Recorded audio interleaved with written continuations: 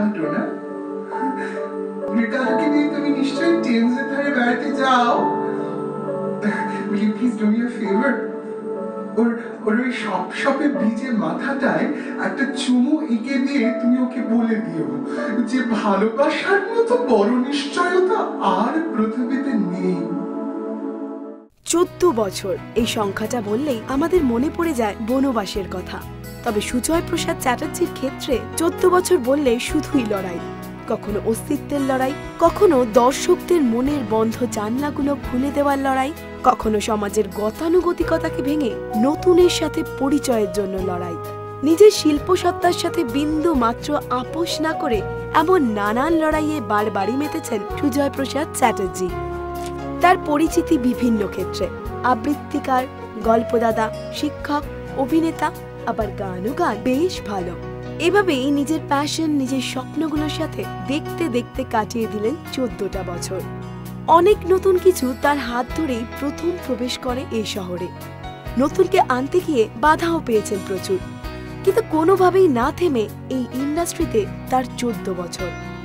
তাই অল্প দিনের জার্নি হলেও এই সময়টায় চলার পথে বন্ধু হিসেবে যে হাতগুলোকে সব সময় পেয়েছেন, তাদের সাথে একটু অন্যভাবে কাটালেন চোদ্দ বছর পূর্ণ হওয়ার সন্ধেটা।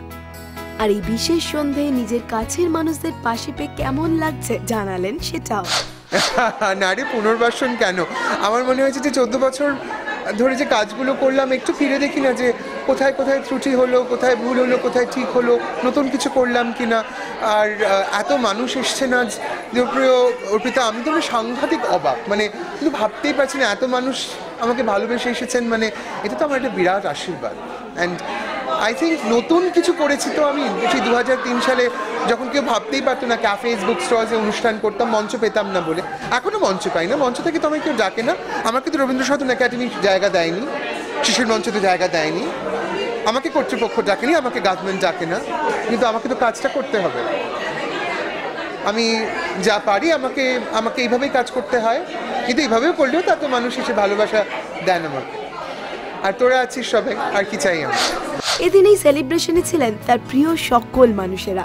ছিলেন অলকানন্দা রায় সোহিনী সরকার চৈতি ঘোষাল মানবী বন্দ্যোপাধ্যায় চৈতালি দাশগুপ্ত এবং আরও অনেকে। প্রত্যেকেই এদিন নিজেদের মতো করে গান কবিতা বা গল্প উপহার দিলেন সুজয় প্রসাদ চ্যাটার্জি। আর সাথে বললেন তার জার্নি নিয়ে কিছু কথা।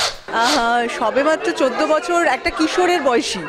তো আমি চাই সেটা অনেক পরিপূর্ণতা পাক আরও ম্যাচিওর্ড হোক। আর শিল্পী তার শিল্প সত্তার প্রকাশই ঘটে তার মনের কথা শুনলে পরে।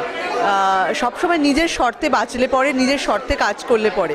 না হলে পরে তো শ্রমিক মজুরদের ছোট না করেই বলছি, কিন্তু একটা যেন ভীষণ মনোটোনাস একটা কাজ হয়ে যায়, যদি অন্যের কথায় চলা যায়। নিজের শর্তে তো আমরা দু হাজার সতেরোতে দাঁড়িয়ে কেউই বাঁচতে পারি না, তাও একটা ছোট্ট প্রয়াস নিজের মতো করে চলা, তার জন্য ডেফিনেটলি সুজয়দাকে সাধুবাদ।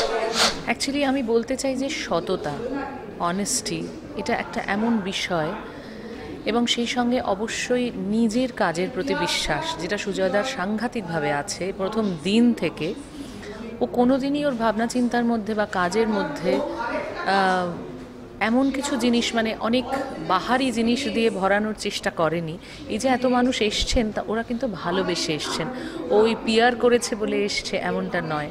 এটা ওর কাজের মধ্যেও ভীষণভাবে রয়েছে এবং ওর সঙ্গে আমি যে কটা কাজ করেছি, সেগুলো প্রত্যেকটাই ভীষণ রিসার্চ ওরিয়েন্টেড কাজ এবং তার জন্য কিন্তু ও কোথাও থেমে থাকেনি। মানে কোনো জায়গায় নিজেকে আটকে রাখেনি।